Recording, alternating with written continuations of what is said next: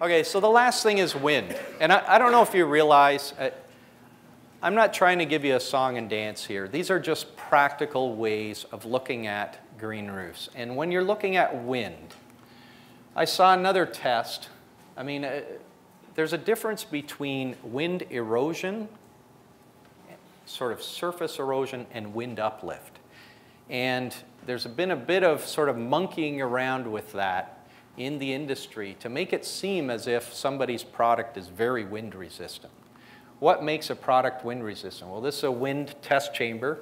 Looks eerily familiar to the, the fire test chamber, but um, essentially the difference is when wind comes out over the top of a parapet wall, it creates a vacuum. And it's that vacuum that creates uplift, so it pulls things up. How do you counter that? Well, one way to counter wind erosion is just by putting an erosion net down till the vegetation has established. So if you blew, you know, once the vegetation is in place, if you blew 150 miles an hour along the surface of this vegetation, it'd probably hang in there for a couple hours.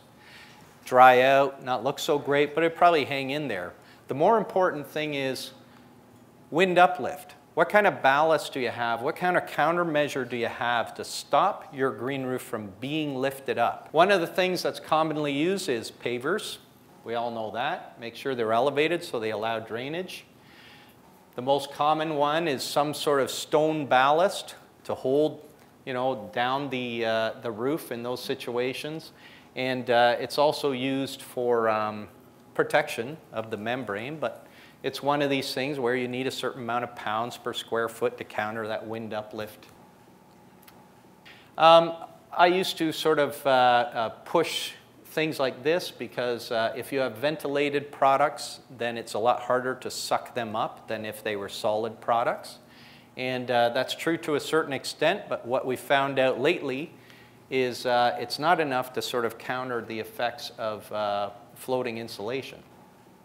So the most simple thing for me when I looked at this whole wind uplift issue is you either have to add weight per component, so you have to make your growing medium and everything super heavy to counter wind uplift pressures, or you have to lock everything together.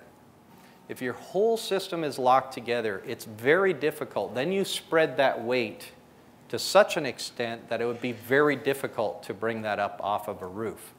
So what I try to do is lock components together. So what we're looking at is we're locking vegetation-free pavers to the edging, which locks to the drainage board, which all locks together. On top of that, you have growing medium, and once it's rooted in and vegetated, it basically becomes locked together on its own. That's it for my talk. Thank you very much.